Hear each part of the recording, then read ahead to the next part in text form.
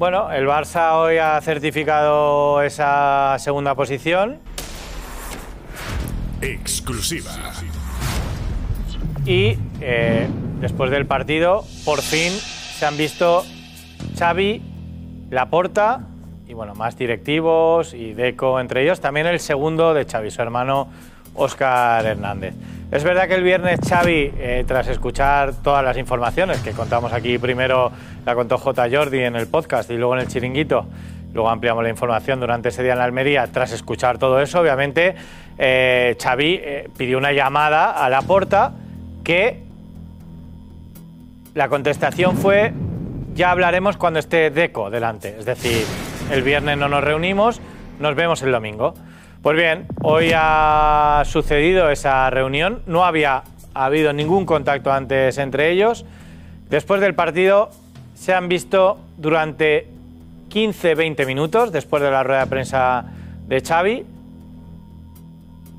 A mí me dicen que en un tono muy agradable, muy agradable, que estaban allí en la sala de reuniones que tienen catering, Xavi cenando, todo muy tranquilo, que estaba la puerta con él, que han hablado del, partido,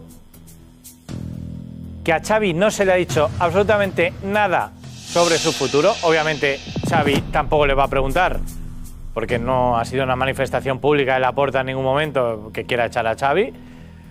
Xavi no ha preguntado, Laporta no se ha referido a ello.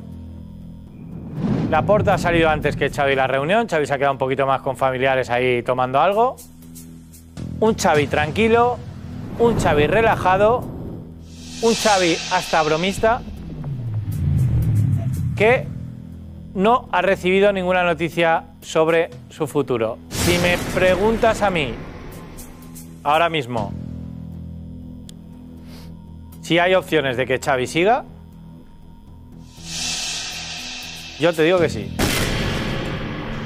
A es ver. verdad que conocemos a Laporta, es muy de calentones, sabemos que le molestó mucho, pero hay que analizar muchas cosas. La salida de Xavi cuesta 18 millones de euros brutos, el sueldo suyo y el de su staff.